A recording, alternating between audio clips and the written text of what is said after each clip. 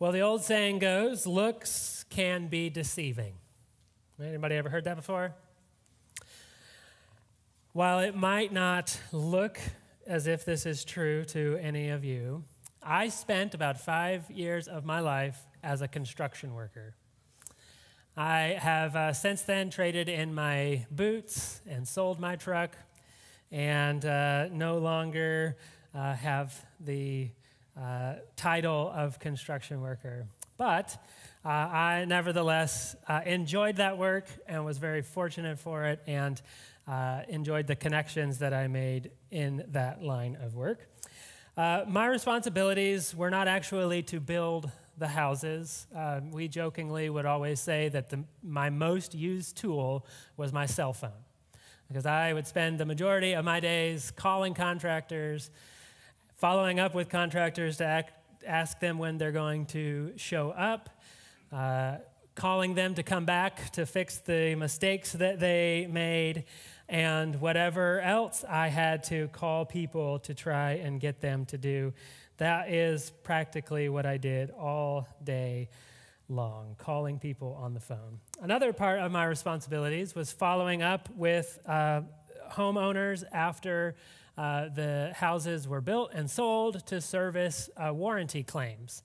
And uh, usually they were pretty minor, but occasionally, unfortunately, something would go really, really wrong. And it was always uh, a hassle to try and fix those things after uh, people move in. One house in particular was actually one of the, my favorite houses that I uh, was able to build. I was in a really great neighborhood. Uh, it had a spiral staircase in the middle of the house, which was really cool and also very challenging uh, to build. Uh, it was just a great house. And the people who moved into it actually uh, became friends of um, ours, and that was a really cool part of that. But uh, a couple of months before the house was to be completed, we noticed that there was a leak in the roof. And so we called the roofing company. They came out, they repaired the roof. Uh, a couple of weeks passed by, and we noticed that in the master bedroom, the wood floors uh, began to warp. Uh, if you know anything about wood floors, you know that when they start to warp, it means that there is moisture in them, and that is a very bad thing. Wood and moisture uh, do not go well together. And so immediately I knew that the leaking roof was the culprit and had caused these, uh, this wood floor to warp. And, you know, once a wood floor starts to warp, the only thing that you can do is tear it out and put a new one down. You cannot fix them.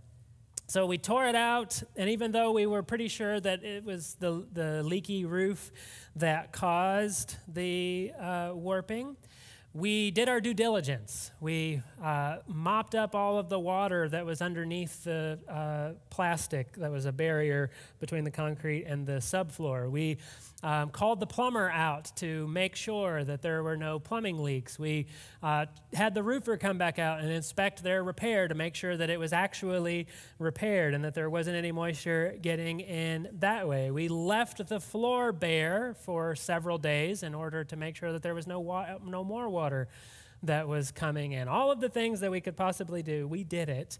And then we became confident that we uh, had solved the leak problem and put in a new floor. And also, we were closing the house in about three weeks, so we had to do it. Everything went fine. Uh, a couple of months passed after the couple who bought the house moved in, and then I get the dreaded phone call. He says to me, Jonathan, uh, there's something going on with the wood floor in the hall bathroom, which was located next to uh, the master bedroom. And I, my stomach just dropped. Immediately, I panicked. Um, I rushed over to the house, found out that what he was saying is true. And then I thought, well, hey, you know, maybe uh, the toilet wasn't seated properly. And as they were using it, it started leaking or something. It might not be related. And then my fears were confirmed as I walked into the master bedroom, and that floor had buckled as well. And I realized that there was something going on beneath the surface that we were not able to find or we did not understand was happening, and it was causing a leak. And what we eventually found was that when they installed the cabinets, the carpenters put a nail into one of the water lines, and it created a very slow leak that happened. But then once the nail rusted out, it created a very constant leak. And the drywall in the bathroom had to be replaced. The tile had to be replaced because it uh, was molded underneath it. The floor had to be replaced again, and on and on and on it went. And the people lived in the house. So we had to move all of their stuff out, and it was an utter nightmare for us. Sometimes in life, we find ourselves in situations that we would rather not be in. And we do all of the things that we do to try and diagnose what is the culprit of the problem. But so many times we end up treating the symptoms and we don't take the time to do the deep work in order to root out what is the true cause of the symptoms that we are seeing. And when we treat the symptoms, we might be able to cover up the problem for a bit. But eventually, what is buried deep within us will show itself. It will erupt. It will send us into chaos. Jesus told this parable that we read a few minutes ago at the end of the Sermon on the Mount. He talked about two different people who built a house. One of them built a house on sand, the other built a house on rock. If you grew up in the church, you sang the song when the rains came down and the floods came up, right? You remember that? Do we need to sing it as a refresher? No? Yes? Okay, the rains came down and the floods came. The two people building their houses built their entire residence, their entire life on the foundation that they chose. Now, the thing that both of them experienced that we might overlook in this story is that both of them experienced storms, right? In life, no matter who you are or what you have or the lack of what you have, you will experience storms in life at some point. And the reality is that if we have built our lives on a foundation that is sinking, our whatever we have built will crumble. And if we have built our lives on a solid foundation, then we have the possibility of withstanding. The question is what is the foundation upon which our lives are built? And in this series called The Narrow Way, we are seeking to trust Jesus as he instructed us to build our lives on this narrow path, on this narrow way, that the way of Jesus would be the foundation of our lives, would be a firm foundation, and would invite us into a life that is relaxed and displays the glory of God.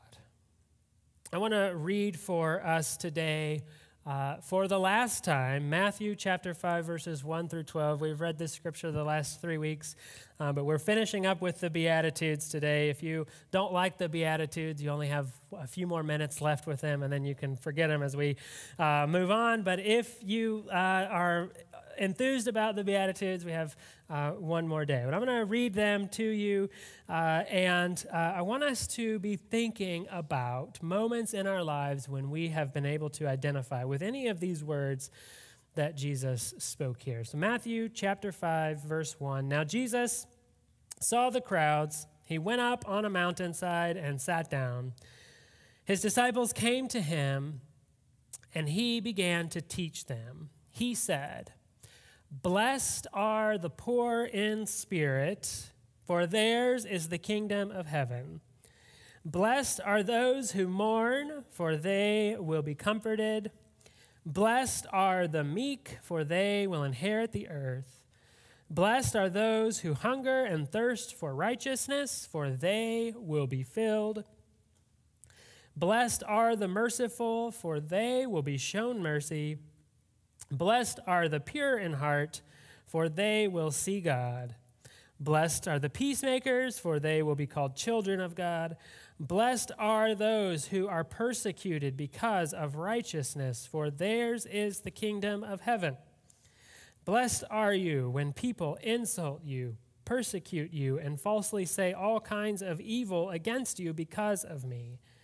Rejoice and be glad, because great is your reward in heaven, for in the same way they persecuted the prophets before you as we have been working our way through this series, we've mentioned that at the heart of what Jesus is calling us to in the Sermon on the Mount is a reordering of our lives.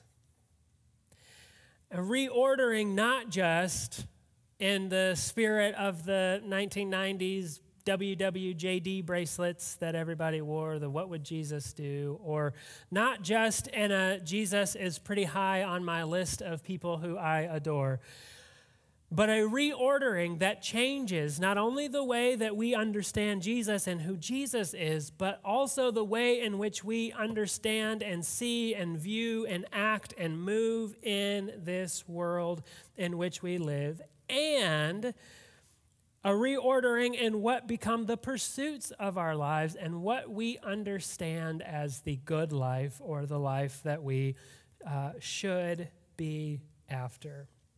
A couple of weeks ago, uh, we read this quote from theologian uh, Jurgen Moltmann. And uh, as I read it again, I just want you to think about the reordering that is being proposed in just this one sentence. He says this Jesus' healings are not supernatural miracles in a natural world. They are the only truly natural things in a world that is unnatural and demonized and wounded. Now imagine if just for a moment, followers of Jesus understood and lived as if what is the truest reality is that the broken things that we see in our lives and the brokenness that grips people's lives is the intrusion into God's good world instead of the other way around. That requires quite a reordering of our understandings.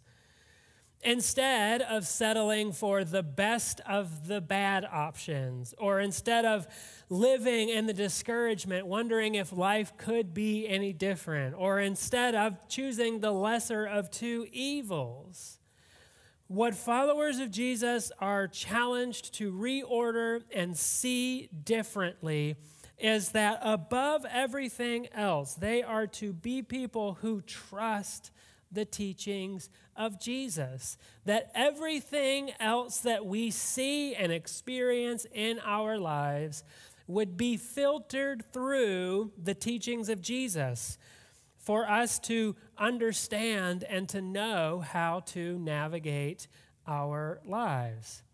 And in trusting Jesus, the people of Jesus seek to be formed by the Holy Spirit not just believe in a set of teachings, but be shaped and formed deeply by the Holy Spirit. And the Holy Spirit forms us into people who have a kingdom vision of the world and what could be. This is the narrow path that Jesus is talking about here. This is the life that Jesus is calling us to.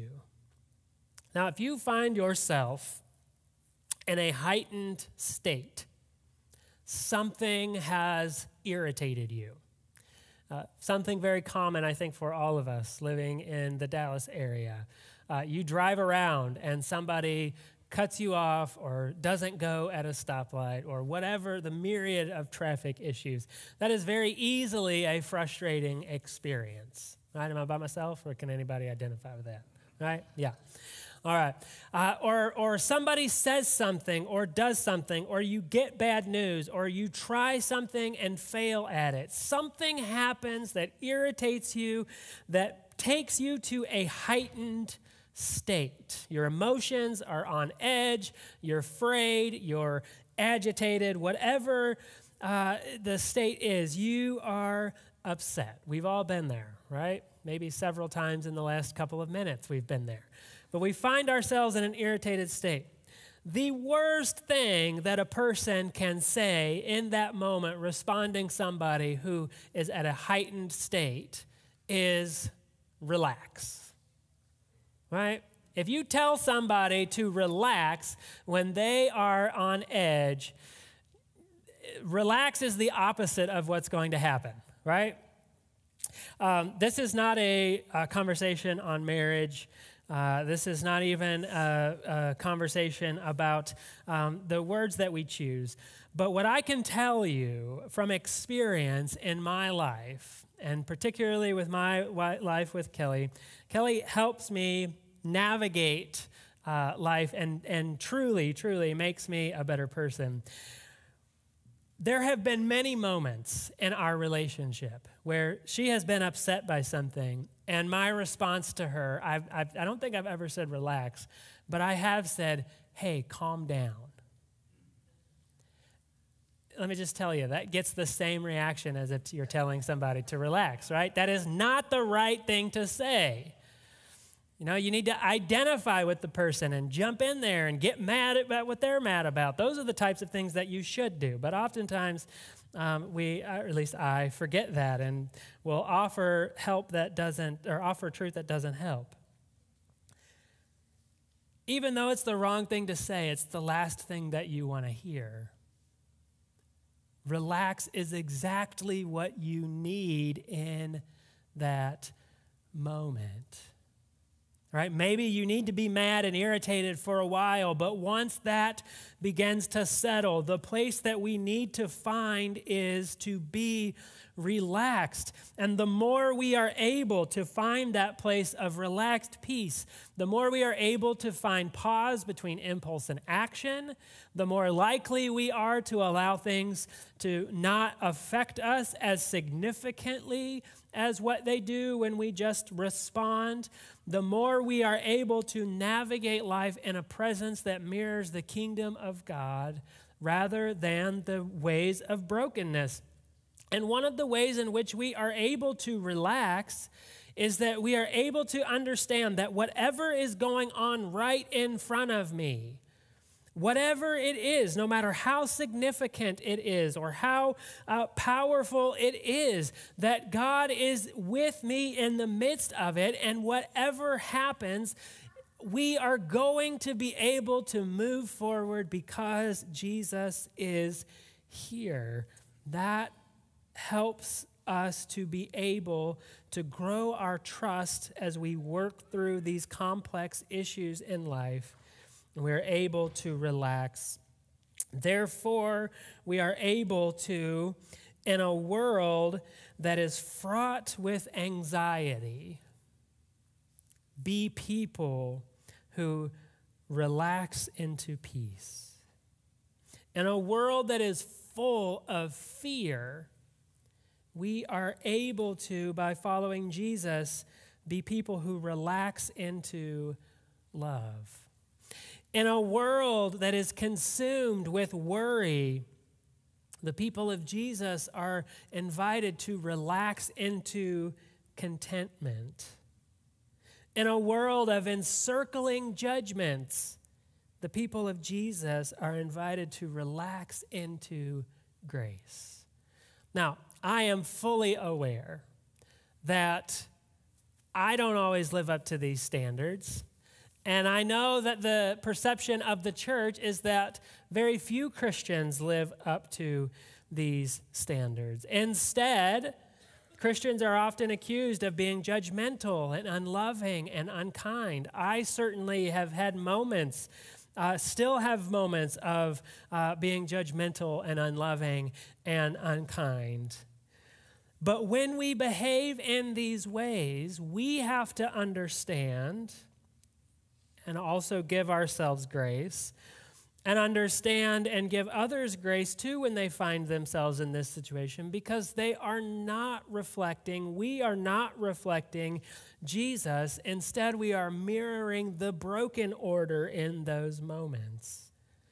And here's what Jesus is getting to.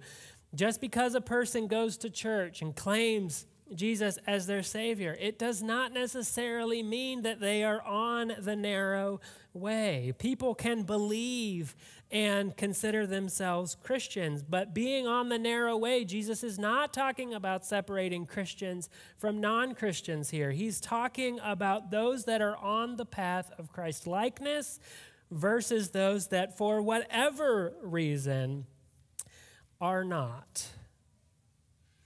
And Jesus invites us all on this journey where we are able to let go, to live relaxed lives, that all that has been built up and causes us to respond and live in these non loving, unneighborly ways would be replaced by the grace of the kingdom of God. In the depths of our beings, we are shaped and formed by brokenness. Broken relationships, harsh words, damaging interactions, unhelpful narratives that we've learned about ourselves or been told about ourselves, unhelpful patterns that we have adopted, beha- uh, betrayals, bitterness, je- jealousy, envy, heartbreak. All of these things that things that we have both done and things that have been done to us. Also, things that we knew that we should have done but didn't do. All of these things shape us. And we often don't even fully realize the woundedness that we carry around in result of all of these things. And if we don't understand the depth of how badly we are wounded or hurt, then we certainly won't be able to understand the depth at which these things affect us. So when life gets a bit out of shape, when the fabric of our life begins to warp, we see the effects of these deep this deep-seated brokenness that is within us. And in those moments, a lot of times we'll seek help, maybe from a spouse or a close friend or uh, a professional uh, therapist or um, somebody like that, a pastor. We'll pray about it, we'll read scripture about it. But a lot of times we end up treating the symptoms and we don't do the deep work to be set free from that woundedness. But here's the deal for us Jesus is not a moralist. Jesus is not a moralist. Now, Jesus certainly taught a life that is lived by morals. Jesus taught us to live by certain ethics. He taught us how to operate in a world that is morally significant. But Jesus did not ever say that, the, that holding those morals or keeping those morals will save us. On the other hand, Jesus is not reminiscent of a strict parent who wants you to behave because keeping the rules is the most important thing. Instead, the patterns that Jesus taught us to live by, it's not about keeping us in line, it is about our freedom. It is about living from a source and the kingdom of heaven uprooting the brokenness that is buried deep down in us and setting us free from it. Here's how Paul talks about this in Romans chapter 8, in verse 20. He says this For creation was subjected to frustration, not by its own choice, but by the will of the one who subjected it, in hope that creation itself will be what? Liberated from its bondage to decay and be brought into the freedom and the glory of what? The children of God the children of God have been set free. Those who are walking on this narrow path have been set free. They have been liberated. That's what the narrow path is about. That doesn't mean that we will do things perfectly all of the time, but it does mean that we can experience freedom. And that is what Jesus is trying to teach us. That's what the Holy Spirit works in us freedom from the chains that bind us, freedom from the narratives of perfection that say you'll never be enough or have enough or be good enough or do good enough, freedom from the damaged parts of us where we've learned to bury our pain and bitterness, freedom from the unhelpful patterns that we have learned and developed over time, freedom from the wounds that are left untreated and festering in our lives. And the truth for us today is that while on the outside our lives might render us far from these people who Jesus counts as blessed in the beginning of his sermon, at some level, we can all identify with this woundedness that Jesus is talking about. We all carry around the ill effect of the broken order. And Jesus is inviting us to reorder our understanding of the world and inviting us to see that our measure of blessedness is dependent on our need for God.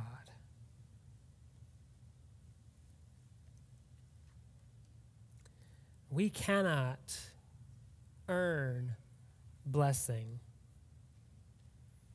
Our possessions or experiences in life are not indicators of how blessed we are. Also, true for us today our achievements and successes are not indicators that we are free from brokenness.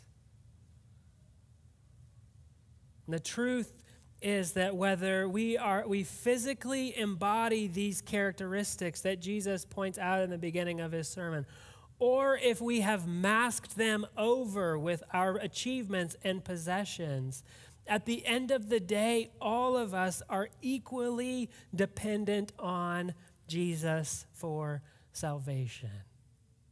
And here's the deal about the reordering is that those that are on the bottom of society, they don't have the distractions that people who are somewhere up above them on the ladder of success have. They understand, people at the bottom understand their need for God. When you are mourning, you don't have to get a gospel tract to tell you that Jesus wants to save you, right? You know that you are in need of a Savior.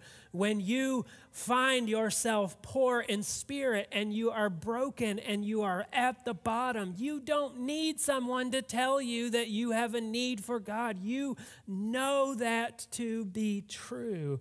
And the further we get down the road of isolating ourselves from the brokenness through our achievements, through our successes, through uh, uh our possessions, uh, how, however we want to mask that, the further we get down that road, the harder it is for us to understand the amount of need that we actually have. When you have plenty, it is hard to see yourself in need. In the kingdom of heaven, what is emphasized is not one's ability to get it right, but grace and justice and mercy. And when we submit ourselves to these, we are opened up to salvation that is unfolding in our lives and all around us each day.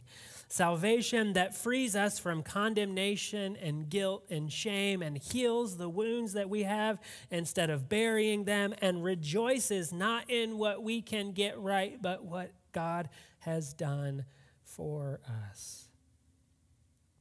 Matthew chapter 11, Jesus says this Come to me, all you who are weary and burdened, and I will give you rest. Jesus knows what you are carrying with you today. He knows what you brought with you today. He knows what you try to keep hidden, even from yourselves, from everyone else. He knows that. And he invites you to give it over to him in order that you can be set free, that you will not have to carry it around, that you will be able to rest and relax in his grace. And he continues, he says, Take my yoke upon you and learn from me, for I am gentle and humble in heart. You will find rest for your souls, for my yoke is easy and my burden is light. Maybe there's someone here today where whatever it is that you are carrying, you are struggling under the weight of it. Maybe what you need to hear today is that Jesus sees you and he doesn't look away. He looks right at you and says, Lay it down. Maybe there's someone in here this morning and you are seeking to find your contentment and your self sufficiency. The skins that you have on the wall, you are proud of them. And you don't ever want to appear like if there's anything weak within your body. Maybe what we need to hear is that Jesus sees you and he doesn't turn away. Instead, he invites you to lay down your self sufficiency and trust in Jesus. If we are honest today, we can see parts of ourselves in these blessed statements, even though we might be trying to convince ourselves otherwise, or we've tried our best to hide it. And instead of that being something that creates shame in us, we need to reorder that and understand that Jesus says if you find yourself in these blessed statements, you are blessed because of it.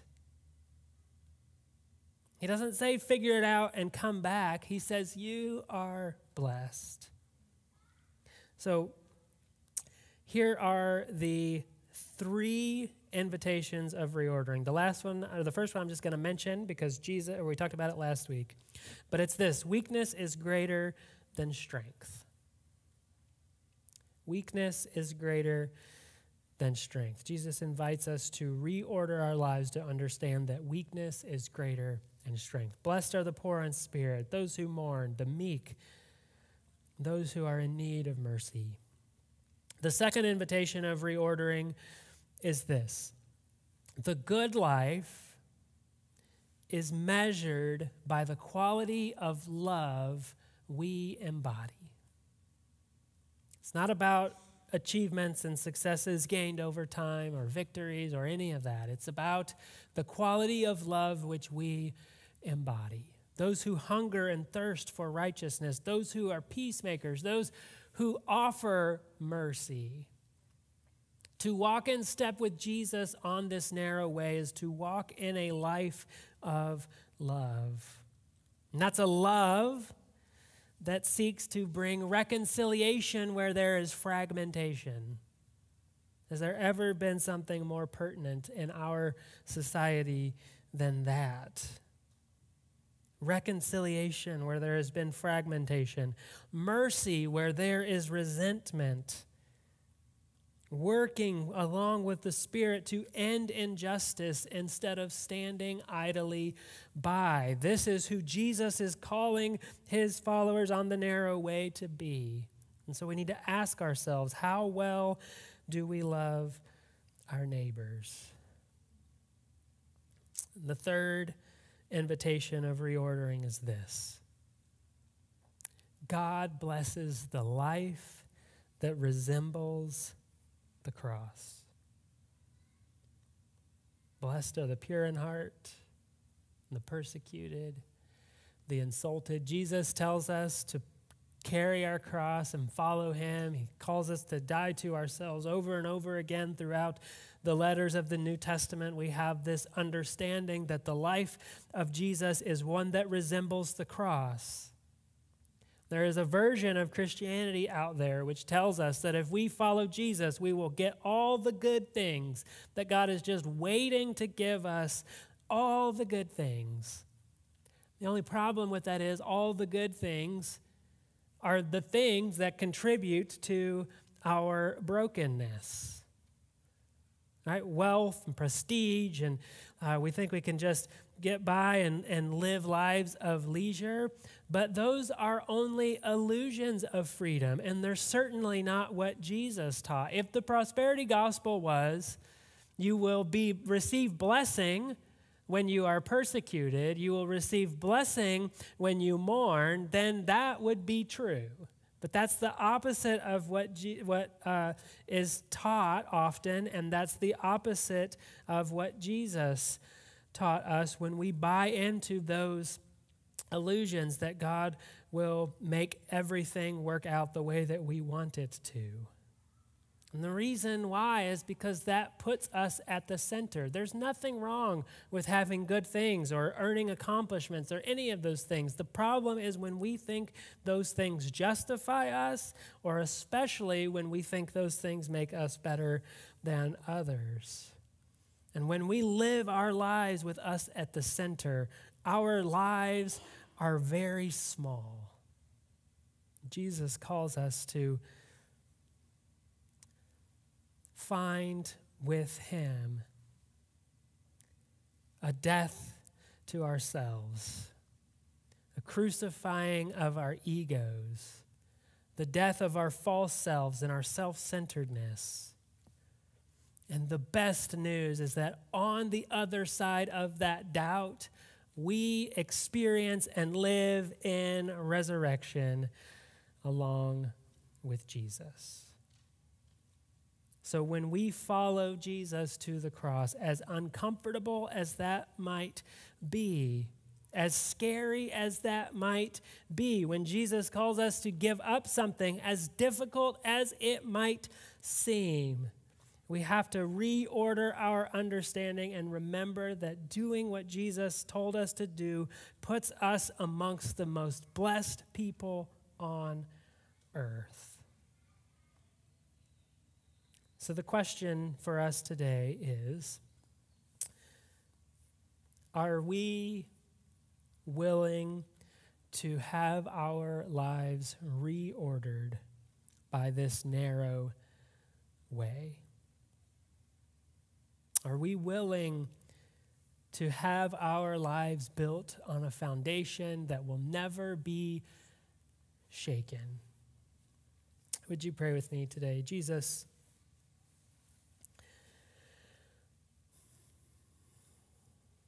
I know that for many of us,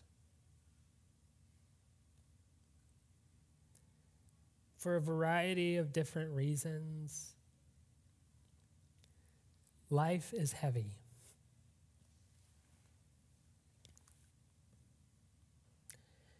The truth is that there is no shortage of things to weigh us down. In fact, most of the developments in our society have contributed to us being more and more distracted from what is true instead of finding time to embrace the truth and to live in the truth and be defined by the truth.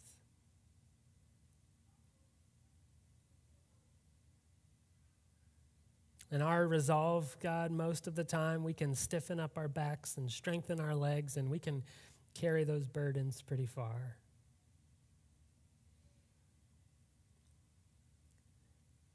But there's also another way. So, Jesus, I pray today for each of us in this room that are watching uh, online, either now or in some future moment, that we would find ourselves in a place where we trust you. And whatever it is that we've been carrying around, that we will let it down and take on your yoke and live in your relaxed, patient love.